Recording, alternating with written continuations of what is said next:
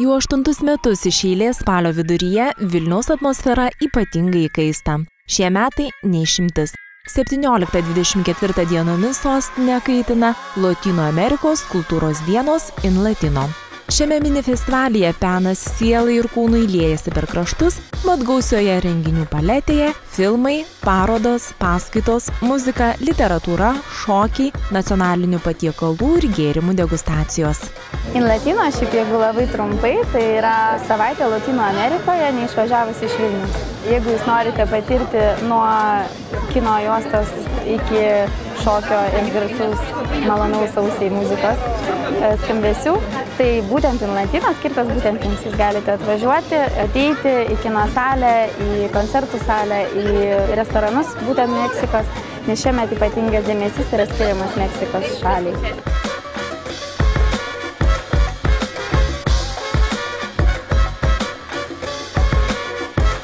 Na, žinote, su Latino Amerika mūsų santykiai labai įdomus. E, gyvename tarsi priešingose pasaulio dalyse, nors ten ir ten yra lietuvių.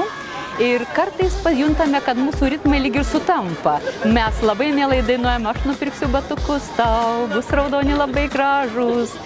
Pasirodo, ritmai perimti iš Latino Amerikos labai gražus dalykas ir matyt dėl to ir domimasi Latino Amerikos filmais, nes kažkas sužyps iš mūsų senos atminties.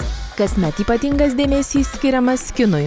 Būtent kino juostos yra šio kultūros festivalio varomoji jėga.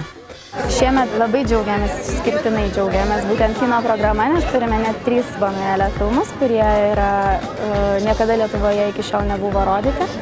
Ir uh, šaunu, kad galime kino programoje parodyti tai, kas buvo prieš kelis dešimtmečius, 50 metų atgal ir kas įvyksta šiandien, nes kartu turėsime keturis filmus 11-12 metų.